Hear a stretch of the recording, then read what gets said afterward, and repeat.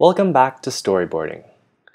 In this chapter, we're going to go over the basic shot types and show you how to get started with your first storyboard panels. To kick things off, we're going to quickly review what we learned in the last chapter. If you'll recall, a film can be broken down into a few subsections. At the top, we have our sequences, which can be broken down into scenes, which can be further broken down into shots. For this tutorial, we're going to be working at the level of the shot. Each panel we will be creating is going to represent a shot in its entirety or a smaller subsection of the shot. So throughout this tutorial, there might be times when I'm interchanging the terms shot and panel, so just be aware. Now, let's go over the different shot types. Along your journeys, I'm sure you've come across terms such as establishing shot, action shot, close-up, medium, and wide-angle shots.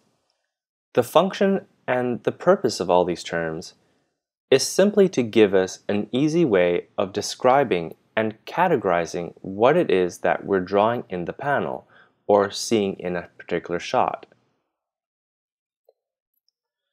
Now, suppose our story is about mitochondrial fission. What would an establishing shot look like? Well, the purpose of an establishing shot is much like its name implies. It's here to help establish the time and the space in which the actions will be occurring. So generally, these types of shots precede or kickstart new scenes or new sequences. What we're establishing here is the cytoplasm where the mitochondria are residing. So I'm drawing those out. And then now here is the nucleus and some of the pores. And I'm going to draw out the Golgi and the ER.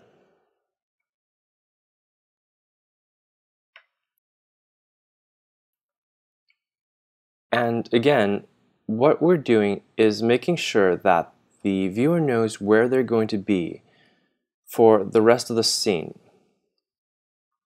And that's because the shots that follow or precede this particular panel may not necessarily provide that information.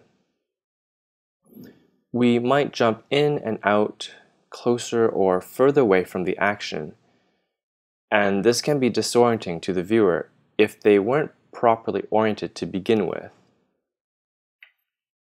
So here I'm drawing in a few more things like the skeletal structures.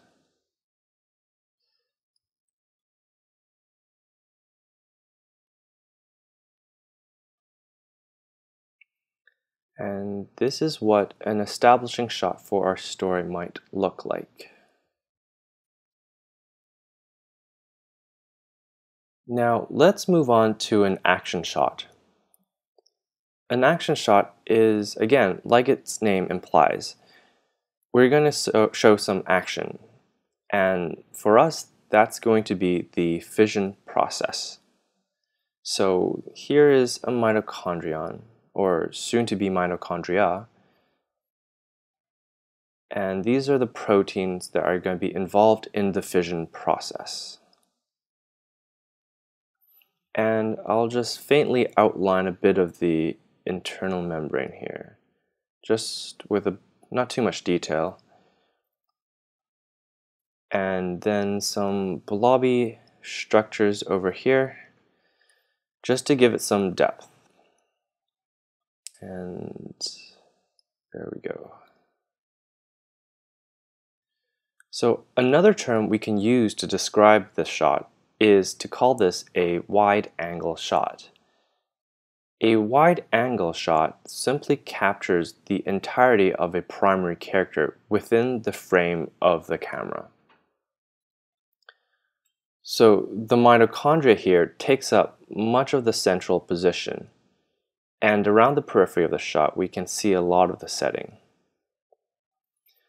Now opposite the wide angle is our close-up A close-up shot is one where we are so far zoomed in to the main action or our primary character that most of it falls off screen. So why would we choose to use such a shot? Well, we're close up because we want to focus on to a particular feature.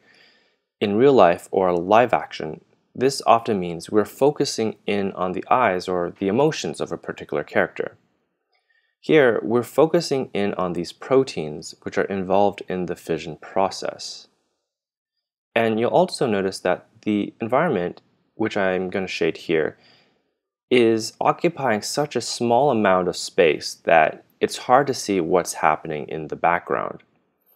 And in post-production, moreover, this may be depth blurred. And this presents us with a really good reason for having had a good establishing shot. If we hadn't used one and we had started with this close-up, the viewers may not have known what we, they were looking at or where we were within the cytoplasm. And at the same time, we need our close-ups because we cannot run a film or animation just at the level of an establishing shot because we wouldn't be able to focus in on all those molecular features that are so crucial to the story. Now, as you probably gathered, shot types are very fluid in nature. For example, a medium shot is simply in between a wide angle and close-up, you could also have an extreme wide angle or an extreme close-up. And shot types are definitely not mutually exclusive. An establishing shot can easily have action within it. What's important to remember is not to have shot types bog you down to the point where it's dictating what it is you're drawing. You should let the content and the storytelling drive the shots that you need. Now, at this point, I would say we have three pretty solid panels. Of course, if we're feeding this into a real storyboard, we would probably clean up the lines and add some more details. But we're done for now. If we're to pass these along to the production team, I'd say they'd have a pretty good sense of the characters and the setting assets that they will need to create. What isn't so clear is perhaps the information on action and movement. So to show you guys how to convey that information, we're going to move on to a new story.